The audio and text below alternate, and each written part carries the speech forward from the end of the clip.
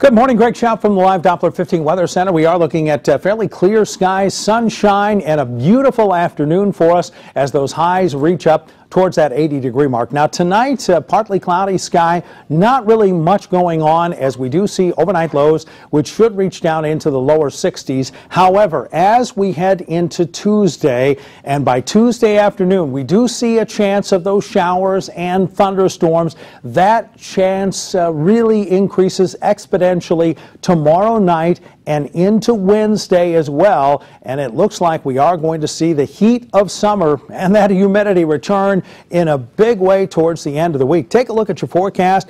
Gorgeous today, highs mid 80s with thunderstorms possible tomorrow afternoon, tomorrow night, and into Wednesday. And then heat and humidity returns Thursday into Friday of next week, of this next week.